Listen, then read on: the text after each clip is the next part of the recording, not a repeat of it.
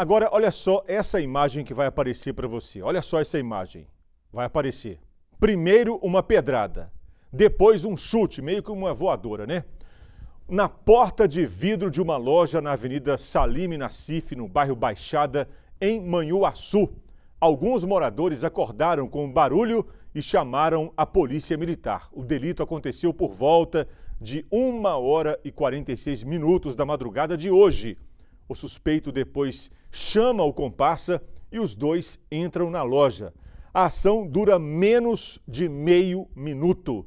Acreditem, são adolescentes e ambos têm 17 anos. Eles saem da loja carregando roupas e outros objetos, depois fogem sentido a rodoviária. Mas eles não foram muito longe.